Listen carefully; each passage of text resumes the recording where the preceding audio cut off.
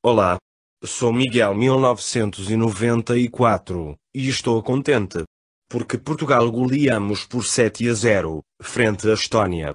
Depois de mais de meia hora com poucas oportunidades de golo, Ricardo Quaresma e Cristiano Ronaldo abriram a torneira, com um golo de belo efeito.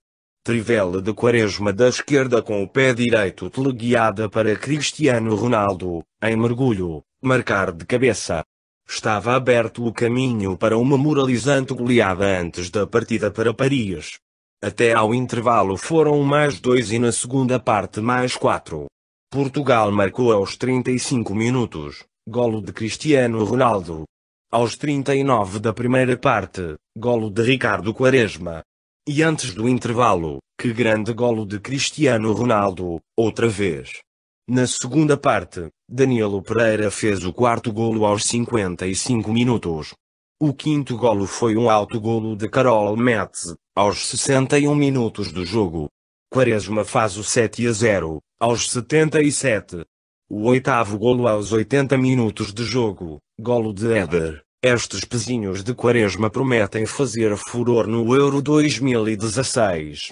Já tinha encantado com uma trivela no Dragão e esta noite voltou a ser destaque com mais uma trivela e um golo de belo efeito, além de todo o manancial de recursos técnicos que o extremo do Besiktas derramou esta noite no Estádio da Luz. No primeiro teste fez dupla com Rafa, agora contou com a companhia do amigo Ronaldo. E que dupla! Abriu o caminho para a goleada com a sua imagem de marca, uma trivela a dar as boas-vindas a Ronaldo. Logo a seguir, fez indiciar ainda mais os holofotes sobre as suas botas, com um surpreendente chapéu, outra vez sobre a esquerda, sobre Londrac, saindo a festejar muito antes da bola beijar as redes. Já na segunda parte voltou a encantar as bancadas com um remate de letra, Fez ainda assistência para Danilo, na marcação de um pontapé de canto, antes de voltar a festejar a passe de Renato Sanches. Uma noite em cheio.